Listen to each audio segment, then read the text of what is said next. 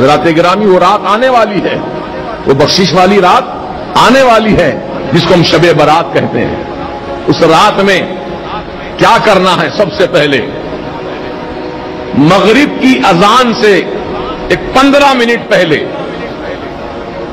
जैसे कि चालीस, बयालीस पर अजान हो रही है तो आप पाँच बजकर पच्चीस मिनट पर बैठ जाइए हाथ में तस्वीर लेकर।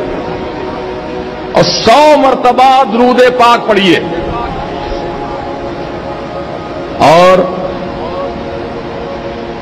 चालीस मरतबा, ला हौला वला कुव्वता इल्ला बिल्लाहिल अलील अजीम पढ़िए।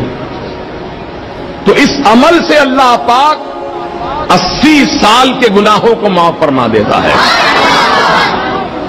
आप कहेंगे, हज़रत, अस्सी साल के गुनाह बख्शे जाते हैं इस अमल से। मेरी उम्र तो अस्सी साल की हुई नहीं। फिर अस्सी साल की उम्र नहीं है तो अस्सी साल के गुनाह भी नहीं है। बात समझ में आ रही आपको? अब आदमी अगर 80 साल का है तो 80 साल के गुना भी होंगे उसके। लेकिन जिसकी उम्र ही 80 साल नहीं है, अभी तो 10 साल का है 15 साल का है 20 साल का है 25 साल का है। वो पूछे, पूछता है कि मेरी नेकियाँ तो मेरे गुनाह तो इतने नहीं है। मैं तो 25 साल का हूँ भी 80 साल तो और आगे बहुत ज़्यादा मुझे जीना है। तो उसके लिए बशारत ये दी गई। ए नौजवान 25 साल के जो गुनाह तेरे हुए, वो तेरे गुनाह माफ़ कर दिए जाएँगे। और जो साल बचे हैं 25 के आगे जो साल बचे हैं, वो तेरे माँ बाप के गुनाह बख्शे जाएँगे। सुबहान अल्लाह ये है इस अमल की बरकत। तो आप याद रखेंगे, भूल जाएँगे। कब पढ़ना है ये? मगरिब की नमाज़ से पहले, अजान से पहले। फिर उसके बाद नमाज़ मगरिब अदा कीजिए। और नमाज़ मगरिब के साथ ही मौका हो तो सूर्य यासीन तीन मरतबा पढ़ लीजिए। अगर नहीं कुछ ताखीर से पढ़ने का इरादा है तो आप अपने घर जाइए और गसुल कीजिए।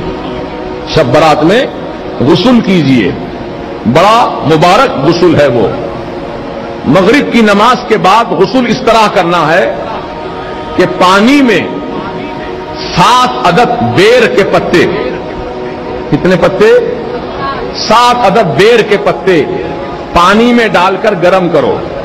हर एक आदमी के सात सात पत्ते।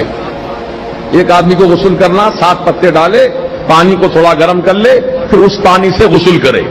तो इसका फ़ायदा यह है कि अल्लाह ताला साल भर तक उसको जादू टोने से महफूज रखेगा। जादू नहीं होगा उस पर। अब जो पहले से है, वो तो उसका इलाज कराना पड़ेगा, उसको हटाना पड़ेगा।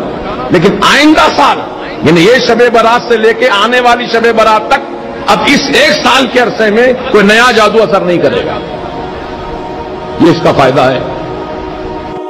इस वीडियो को शेयर ज़रूर कीजिए। हो सकता है आपके एक शेयर से ये बात किसी के दिल में उतर जाए। जजाकल्ला।